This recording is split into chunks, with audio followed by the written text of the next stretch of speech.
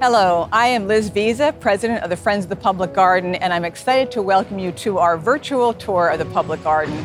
If it was a normal year, we would be inviting you into the garden with our tour guides, but as you know, we can't do that, and I'm still happy to be able to give you a virtual tour of some of the highlights of the garden. Let's start with a little bit of history. This is actually America's first botanical garden. It is 24 acres.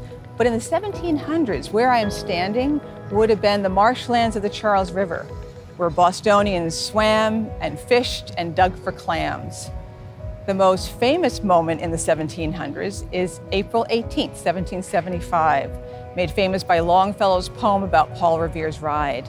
So you know they said one if by land and two if by sea, and the answer was two uh, lights in Old North. And those that sea that they were talking about was this space. So the British soldiers that were camped across Charles Street in the, in the Common got into their boats and rowed across this land to the Cambridge shore and marched to Lexington and Concord to begin the Revolutionary War. In the 19th century, this garden space was a hotbed of civic fights. A number of times it was proposed that we develop house lots here. And those early advocates back then fought this idea. And finally, in 1856, there was a legislation that was passed by a record or, or a ratio of 60 to 1. Bostonians said, no, we want this to be forever a botanical garden. So from that moment forth, it was protected as a botanical garden. So in 1859, there was a competition, a blind competition, and architect George Meacham won that competition for the design of the garden. He was paid $100 for his labors, and his design is very similar to what you see today. Curvilinear paths, trees dotted throughout the lawns, and then the formal garden beds with horticultural uh, beautiful horticultural beds. It was the height of the Victorian era, and we'll look at that in a little while when we get to the Arlington Street entrance. Those beds had exotic plants as well as annuals, and uh, a central spine that was a formal path crossing the lagoon. So let's move forward to 1970. In the late 60s, it was a low point for parks nationwide, and our parks were no exception. It's hard to imagine that today, but this garden was almost beyond saving. The benches were broken, the lights were broken, there were holes in the three edges of the fencing, and the fourth edge along Boylston Street was gone altogether because there was a subway stop entrance at the corner of Arlington and Boylston in the garden. The lagoon bridge was close to collapse. So in 1970, a group of, of neighbors got together out of concern for the future of this garden. And very soon after that, they added the Boston Common and the Commonwealth Avenue Mall to their areas of concern, particularly because Dutch elm disease was ravaging the elm trees. We were losing 30 to 40 elm trees every year. And uh, elm bark beetles do not respect park boundaries. So the Friends of the Public Garden was born 50 years ago. It's our 50th anniversary this year. And in the beginning, we were worried about spending $500 to remove two diseased elms from the garden. So in 2020, our budget for parks care in the three parks is over $2 million. So let's take a look at our first stop, a very beloved sculpture in the public garden. So we are starting our tour at the duckling sculpture, which is probably the coolest sculpture in the city, if not in the country. It was done in 1987 by uh, sculptor Nancy Schön, and we, the Friends, worked with Nancy to get this installed in the garden. It is visited by hundreds of thousands of people, families and their children, every year to come and sit on the ducklings, get their pictures taken. It honors and celebrates that classic uh, story Robert McCloskey wrote, Make Way for Ducklings. And so you see the ducklings dressed up today. They look like they're ready for a beach day. You also see when you come here seasonally that they are dressed in seasonal attire. If it's springtime around Easter, they have Easter bonnets. If it's around uh, St. Patrick's Day, they have shamrocks. When we're in the playoffs, they have uniforms of our sports teams. And a couple years ago, I think my personal favorite was when Ruth Bader Ginsburg published her book about the Supreme Court. They showed up as Supreme Court justices. They have been cared for by us since they were installed, and the Lynch family and foundation were very important supporters in the beginning and contributing money for an endowment to take care of them. They are beloved and they are a wonderful, delightful part of the garden. So now we're going to move down and talk about a tree.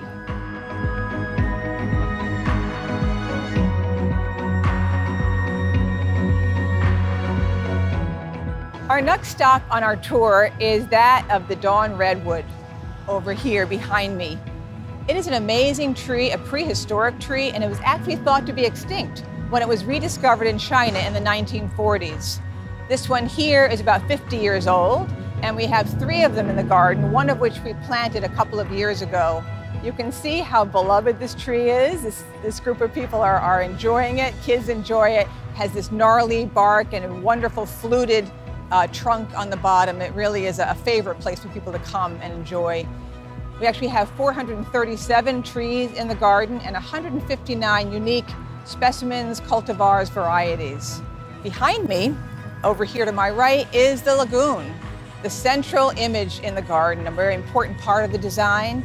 And you see the lagoon bridge crossing the lagoon. It was built in 1866, about a decade after the Back Bay was filled and that neighborhood was growing fast. And at some point, it was clear that we needed a direct movement across the garden from Arlington Street to Charles Street down beyond the common into downtown. It was part of the original design, and this beautiful bridge was designed as a suspension bridge, but repairs over the years made it a girder bridge. Those cables are for um, decorative purposes, but they're not functional, but they are beautiful.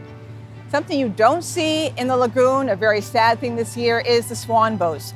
They began in 1877. They were developed by the Paget family, the original Pagets, Robert and Julia. It was inspired by the opera Lohengrin, where the hero is drawn by on a boat by swans across the lake. And this is a, an iconic part of the garden. It's an iconic image of the city people come have come from generations to go and bring their children, their grandchildren to have a swan boat ride. They have operated through two world wars, through a depression, and this is the first year in all those years that it was very clear they could not operate it safely, so they sadly had to decide not to operate it. It means that next year we're going to be welcoming them with open arms and with a lot of excitement. And now let's go take a look at one of our wonderful monuments at the corner of Arlington and Beacon Streets in the garden.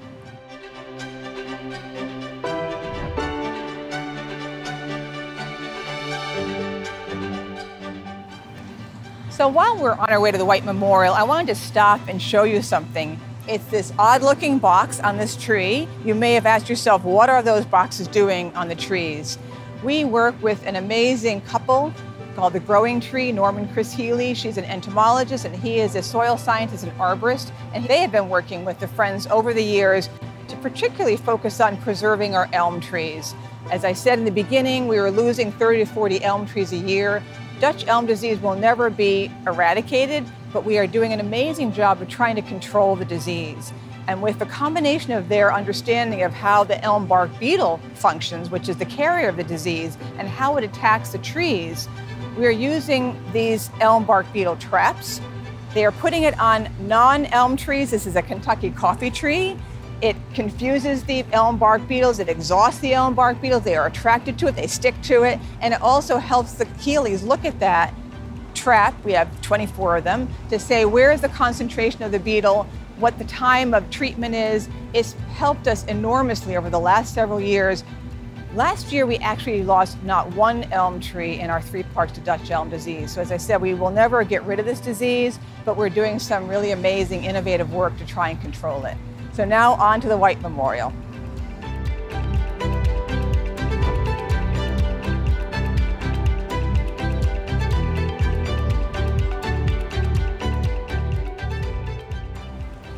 We are now at the site of the George Robert White Memorial, a wonderful fountain here on the corner of Arlington and Beacon Streets.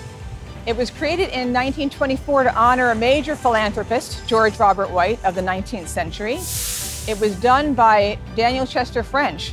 His commission was the Lincoln Memorial. That was the one that he was most well known for. So then he came up to Boston and worked with architect Henry Bacon to create more than just a piece of sculpture, but a whole space with the terrace and planting behind it. In the 80s, it went dry. It was not cared for, and for decades, it was a dry fountain until about 2015 when a neighbor came, uh, approached the Friends and said, what about that fountain in the corner of Arlington and Beacon? Can we get this to work again? So we engaged him. He's now a member of our board.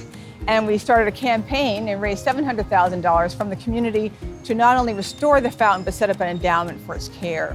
We had to redo the water system to be circulating, create a new vault in the area of the fountain, historically restore the Pebble Basin, and we also created an accessible path off to the right, which is wonderful because people that are coming with their children in baby carriages, people in wheelchairs, are all able to come and enjoy this wonderful part of the garden. Now we're going to go take a look at the first monument that came in the public garden.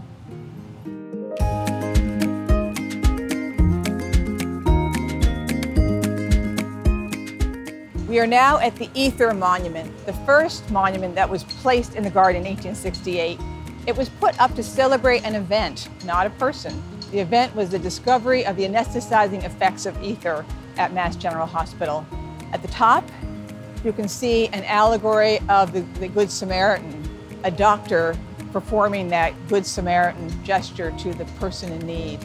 The fountain itself was also dry for quite a while, and the Friends working with the city restored it in the early 2000s and take care of it um, regularly every year. As with the White Memorial, it's really important that it not just be restored, but that we have this ongoing care because fountains are fussy things, but they're important and beautiful things. Everyone loves water. They love the running water here, and they're very attracted to both of these spaces. To my left here is another ancient tree, a ginkgo tree. In fact, this part of the garden has some of the oldest trees in the garden. This tree is about 150 years old. The species is believed to be about 250 million years old. Just imagine that ancient of a tree still being with us and still things that we can enjoy. And next, we're going to be going to the Arlington Street entrance and look at some fountains and another sculpture.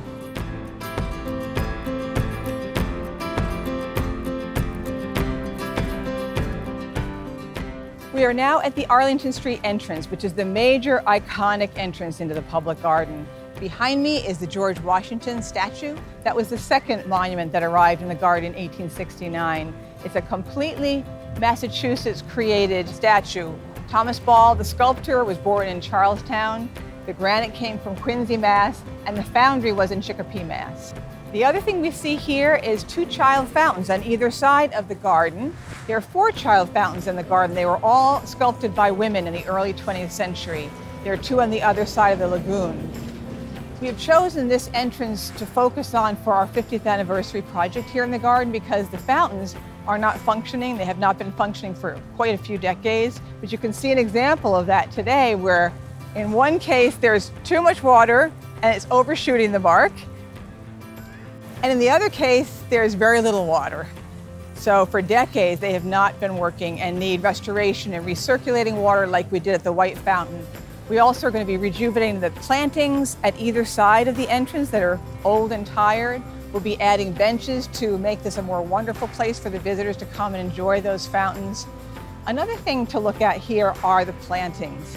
The Victorian era was at its height when the garden was designed. And just imagine in 1888, there were 500 garden beds, horticultural beds, with 90,000 plants in them, annuals. And what you see here are seasonal plants that come out, palm trees, and a variety of, of annuals are here to be displayed for people's delight. Today, there are 50 garden beds with 25,000 annuals and 35,000 tulips. The garden was the first place in America where tulips were displayed. People love the plantings, they're very important. And the Parks Department has done them from the very beginning, and they raise the, the plants at Franklin Park in the greenhouses. This is just a small slice of the public garden. There's more to discover on the rest of the 24 acres. I invite you to come for rest and renewal, for discovery or rediscovery, and to enjoy America's first public botanical garden.